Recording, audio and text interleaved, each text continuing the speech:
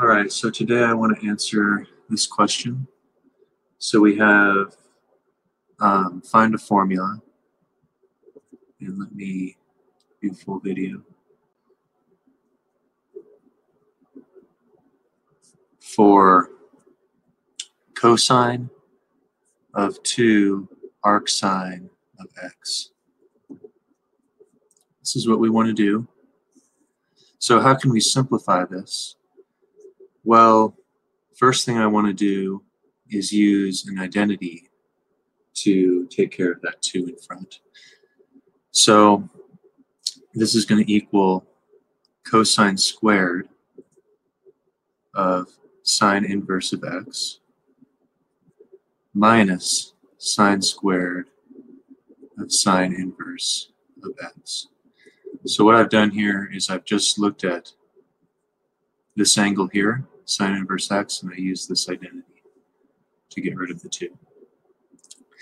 So how do we work with this? Well, we want to draw a picture. Okay, so here's my triangle. And I know that this sine inverse of x is an angle. Okay, so sine inverse of x is this angle. And whatever it is, the sine of this angle is equal to x. And that's the opposite side divided by the hypotenuse.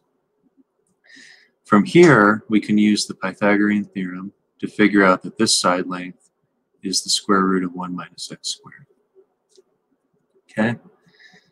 Now I'm going to look at the cosine of this angle, which is going to be adjacent over hypotenuse. So the cosine, which I'm going to square, is the square root of 1 minus x squared. And the sine, well, the sine is x. So I'm going to subtract x squared from this. And what I end up with is actually a polynomial. I'm going to get 1 minus x squared minus x squared. And that's equal to 1 minus 2x squared. Now let's see if we've studied all cases. Okay, so x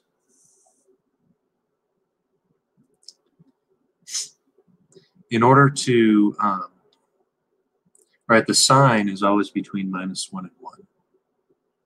Okay, so x has to be between minus 1 right? And it always it, it always is. So we don't have to adjust this for uh, different x ranges.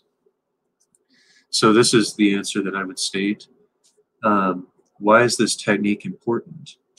Um, two applications are um, using trig sub to uh, evaluate integrals, and the other application is computing what are called Chebyshev polynomials. And just as a challenge, um, you can try to calculate what these are by this recursive relationship.